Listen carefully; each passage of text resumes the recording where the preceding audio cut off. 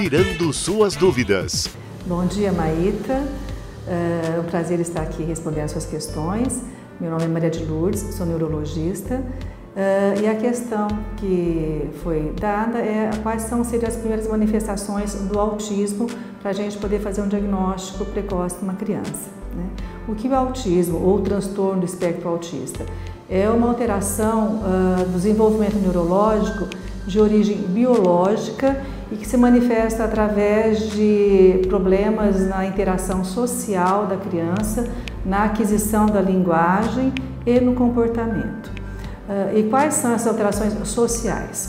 Uh, no início, as mães podem observar que a criança não tem aquela interação com a mãe, de olhar, de sorrir, e quando tem uma fase de começar a balbuciar, a criança não balbucia, as brincadeirinhas de sorrir, a criança não sorri para a mãe na época com aquelas brincadeiras que são feitas, olhar, apontar os objetos, a criança tem dificuldade.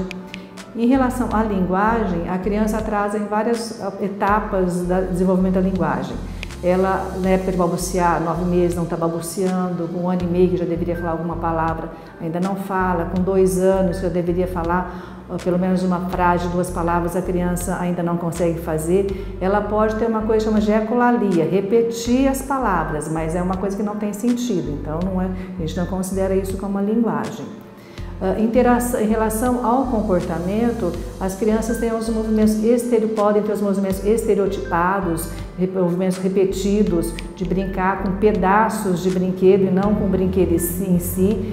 E às vezes, quando as crianças já vão na idade escolar, que já conseguem ler, eles são hiperfocadas, por exemplo, em determinados assuntos, como o dinossauro ou coisa de espaço e ah, essas ah, alterações normalmente ocorrem até os dois anos de idade. Uma coisa que pode acontecer também é ela ter uma aquisição normal e regredir depois disso, ou parar. Tá? Se vocês tiverem mais algumas perguntas, vocês podem mandar para o uh, programa que a gente pode responder, que esse é um assunto muito extenso. Obrigada, Maíta, e estaremos à disposição quando necessário.